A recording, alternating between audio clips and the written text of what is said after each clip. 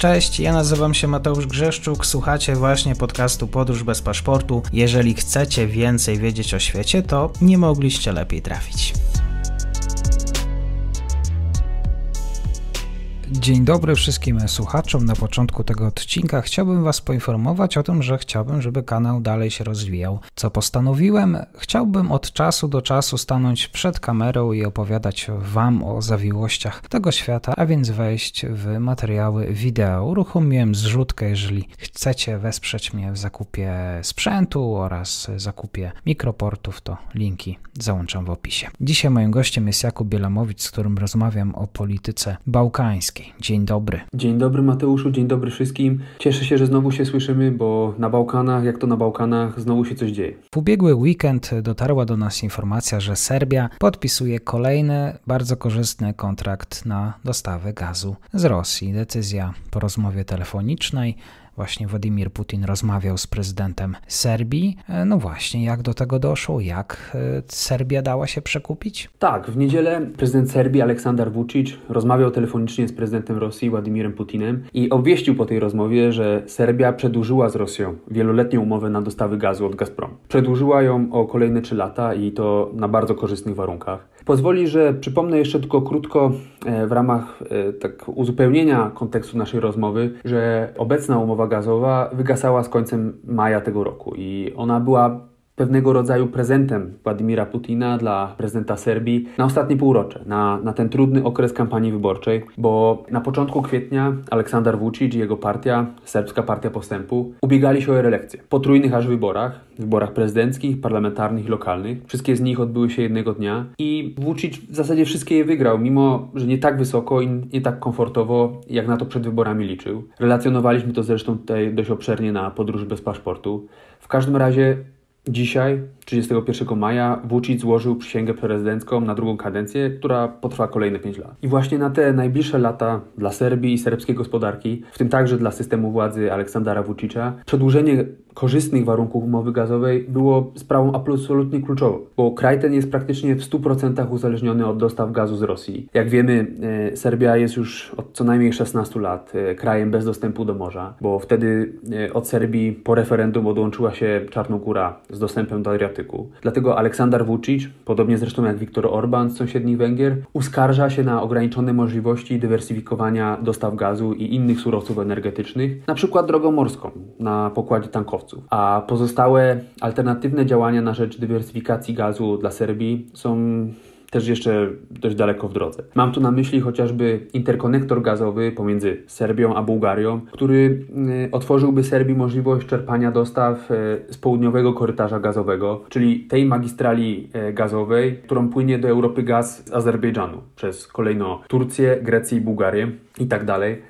No ale zgodnie z ostatnimi informacjami ten interkonektor z Bułgarią nie powstanie przed drugą połową 2023 roku, no, czyli trzeba jeszcze liczyć co najmniej rok, półtora. W tym czasie dzięki nowej umowie z Rosją, z Gazpromem na okres najbliższej zimy, która jak wiele krajów się obawia może wywołać poważne turbulencje gospodarcze, społeczne, czy nawet po prostu biedę energetyczną, Vucic będzie miał w tym czasie jedne z najlepszych stawek za gaz w Europie. Stawek, które będą kalkulowane według tzw. Tak formuły opartej na cenie ropy, co Y, w praktyce oznacza, że ceny gazu w tym najtrudniejszym okresie zimowym będą dla Serbii nawet 10-12-krotnie niższe niż w pozostałych krajach europejskich. No, lepsze warunki, zdaniem Vucicia, mają mieć tylko Białoruś i Armenia. Co ciekawe, e, powiem jeszcze, że ten nowy deal gazowy zostanie przypieczętowany podczas wizyty szefa rosyjskiej dyplomacji Siergieja Ławrowa w Belgradzie i to już za tydzień 7 czerwca. Będzie to jego pierwsza podróż do Serbii od y, momentu wybuchu wojny w Ukrainie. Jestem osobiście bardzo ciekaw, co oprócz tego będzie jeszcze omawiane w trakcie tej wizyty.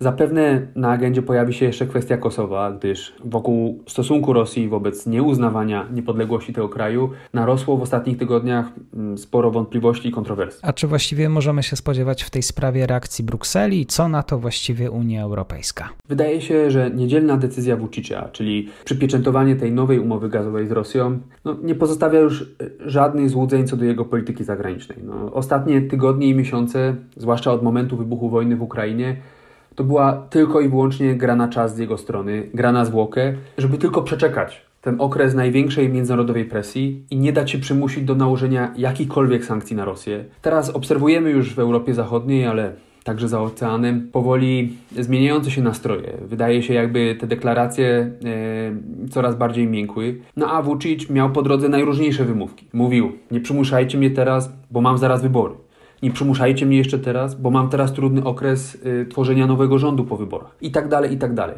W moim odczuciu y, mamy zatem do czynienia z kolejną odsłoną już dobrze znanej, ugruntowanej serbskiej, a kiedyś wcześniej tak, także jugosłowiańskiej polityki zagranicznej, czyli tej polityki wielowektorowej, polityki y, balansowania wpływów wschodnich i zachodnich, polityki, którą nazywa się niekiedy także y, grom na czterech fortepianach. Z jednej strony te fortepiany to Rosja i Chiny, a z drugiej Unia Europejska i Stany Zjednoczone I Vucic przez ten już dość długi okres swoich rządów, przez y, ostatnie 10 lat, bardzo się wyrobił w tej sztuce grania i balansowania, bo nie tak dawno był przecież w Berlinie, gdzie spotkał się z kanclerzem Olafem Scholzem. Zapewniał kanclerza i europejską opinię publiczną, że teraz Serbia chce jeszcze mocniej integrować się z Unią Europejską.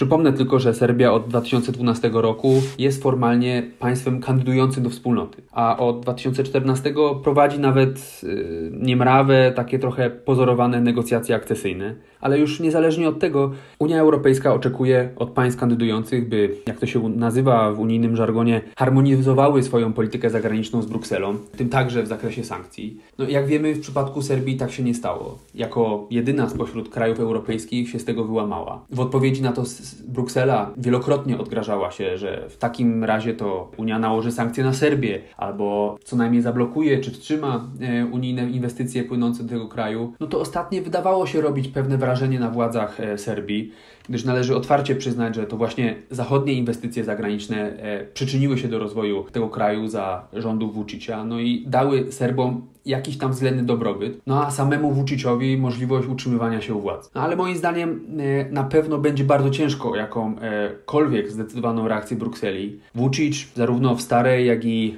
nowej Unii ma swoich sojuszników, po których można się spodziewać, że będą blokować jakiekolwiek zdecydowane działania wobec Serbii. Z jednej strony jest to na pewno Francja, e, z którą Serbia, choćby historycznie patrząc, ma dobre relacje. No a w ostatnim y, czasie obydwa te kraje to już szczególnie intensywnie rozwijają chociażby współpracę wojskową, współpracę gospodarczą, także przy publicznych inwestycjach, takich jak lotnisko i metro w Belgradzie. Ostatnio rozmawiałeś tutaj na kanale z panią e, profesor Rekść o e, wniosku członkowskim, jakie e, Kosowo złożyło do Rady Europy. No, Francja zdążyła się o tych zamiarach Kosowa wypowiedzieć już sceptycznie blokująco, no, oczywiście ku uciesze Serbii.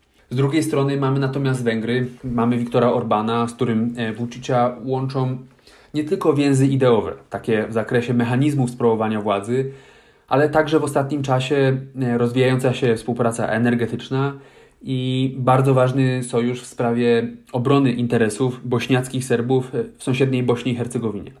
Więc obawiam się, że raczej wszystko będzie po staremu.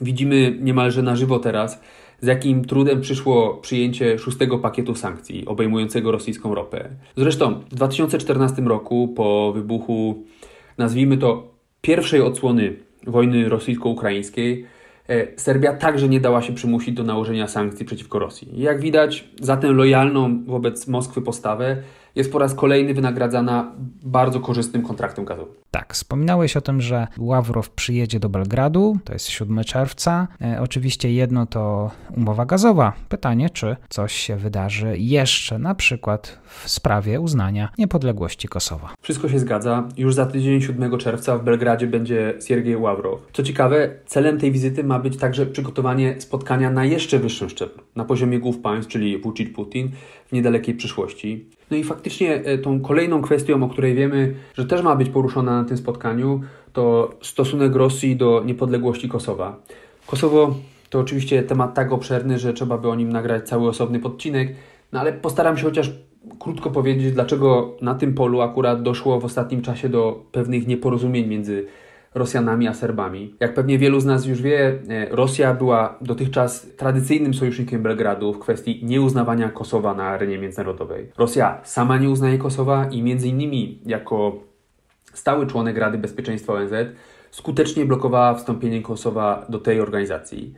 Tymczasem Władimir Putin, mówiąc w ostatnim czasie o podmiotowości tych e, pseudorepublik z Donbasu posługuje się odniesieniami do wyroku Międzynarodowego Trybunału Sprawiedliwości, e, który uznał legalność niepodległości Kosowa, legalność tej jednostronnej deklaracji władz w Prisztynie o odłączeniu się od Serbii w 2008 roku.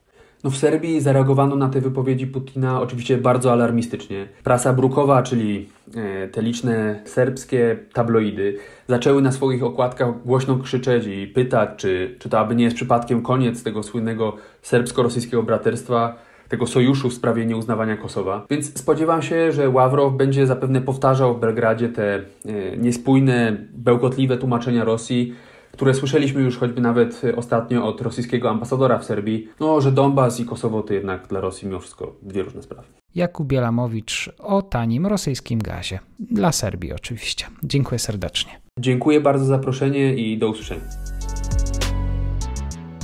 I to już koniec na dzisiaj. Zapraszam na profil podcastu Podróż bez paszportu na Facebooku, Instagramie i Twitterze. Zachęcam też do wsparcia mojej pracy na serwisie Patronite oraz Buy Coffee. Do usłyszenia.